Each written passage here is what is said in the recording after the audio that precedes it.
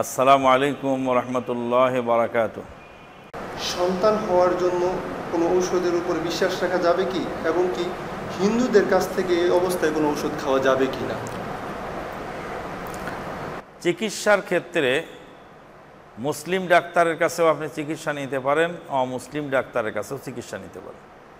চিকিৎসার ক্ষেত্রে নারীর কাছ থেকে পুরুষ চিকিৎসা নিতে পারবে পুরুষের কাছ থেকে নারী চিকিৎসা নিতে পারবে। উত্তম পদ্ধতি হলো যে মহিলা ডাক্তার যেখানে আছে, সেখানেই মহিলারা যাবে। পুরুষ ডাক্তার যেখানে আছে, সেখানেই পুরুষরা যাবে। এর ব্যতিক্রমও হতে পারে, চিকিৎসার ক্ষেত্রে এটা অনুমোদন আছে। অনুরূপভাবে অমুসলিম কোনো চিকিৎসক বিশ্বস্ত অমুসলিম, মনে রাখতে হবে, অমুসলিমেরা অনেক সময় মুসলিমদেরকে ক্ষতি করার চেষ্টা করে, সে ব্যাপারে খেয়াল থাক, রাখতে হবে। আর শরীয়তের মাসলা যেগুলিতে সাব্যস্ত হয় যে এই লোকটা সিয়াম পালন করতে অপারগ বা এই অবস্থায় বাচ্চা ধারণ করলে তার জন্য ক্ষতি। ডাক্তারি সার্টিফাই লাগবে।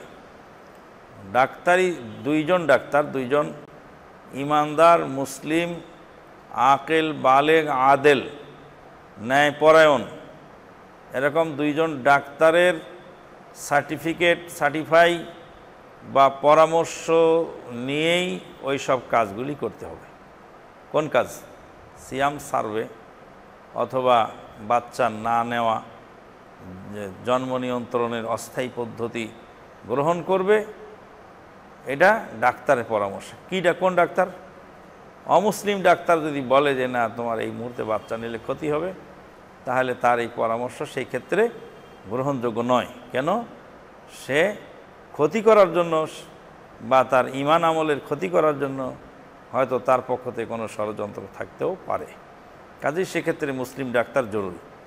আর বাকি নর্মাল চিকিৎসার জন্য মুসলিম, অমুসলিম যে কোনো ডাক্তারের কাছ থেকে চিকিৎসা নিতে পারে।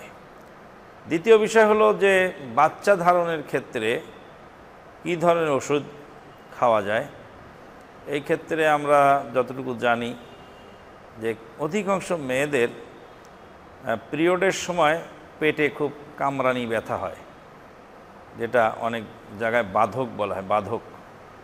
এই বাধকের ব্যথার কারণে অনেক সময় তাদের ভ্রূণ নষ্ট হয় বা বাচ্চা পেটে ধারণ কনসেপ্ট করার পরেও দেখা যায় ছুটে যায়। এইসব ক্ষেত্রে একটা ওষুধ আছে, হোমিও ওষুধ, পালসেটিলা। এই পালসেটিলাটা খুব উপকারী। হোমিও ডাক্তারের পরামর্শ নিয়েও আপনি খেতে পারেন, আর না হলে পাস পালসেটিলা দুইশো পাওয়ারের একটা মেডিসিন কিনে নিয়ে দুই এক ফোঁটা, দুই এক ফোঁটা করে মাঝে মাঝে আপনি সেবন করে দেখতে পারেন। অনুরূপভাবে কালোজিরা কালোজিরা মধু তো যে কোনো রোগের ওষুধ, এতে কোনো সন্দেহ নেই। সেক্ষেত্রে কালোজিরাটা ভিজিয়ে রেখে তার পানি, অথবা কালোজিরার ভর্তা, অথবা এমনি কালোজিরা চিবিয়ে খাওয়া বা তরকারির মধ্যে দিয়ে খাওয়া যে কোনোভাবে কালো জিরা ব্যবহার করা যায়। এই ক্ষেত্রে ভালো উপকার পাওয়া যায়।